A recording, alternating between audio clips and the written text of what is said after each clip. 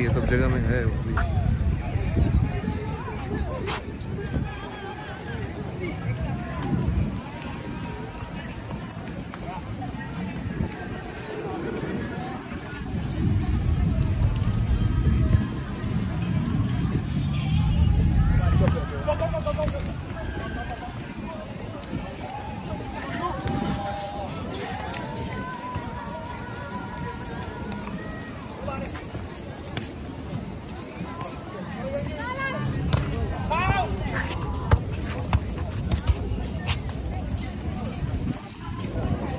अच्छा खेल रहे हो लोग?